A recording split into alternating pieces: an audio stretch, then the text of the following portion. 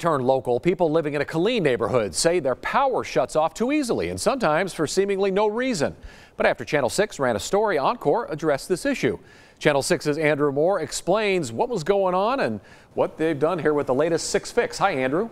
Chris, last week, Alfredo Cruz and other neighbors who live on Pilgrim Drive told us they've had issues with their power randomly shutting off for several months. And if there was a storm, they said the outage was practically guaranteed. But after we called Oncor, they saw action almost immediately. Oncor told us last week the problem was often trees making contact with power lines or transformers, though they didn't give us a timeline of when they would address the issue. But Cruz told us today he already knew that. He says they've seen the transformer in the backyard go out constantly, and when a storm comes in, the family makes bets on how long that transformer will actually hold out. After asking Oncor to cut the trees multiple times, they finally called Channel 6 my son decided to contact you guys and say, look, we need to do something about this. And they contacted you guys, and you guys came out.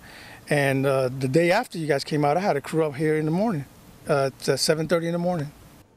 And Cruz told us once Oncor did come out, they did a great job. He says they significantly trimmed back the trees all the way down the block, and he's hoping the power will be a lot more reliable from now on. If you have an issue you want Channel 6 to look into, send us an email at kcentv.com.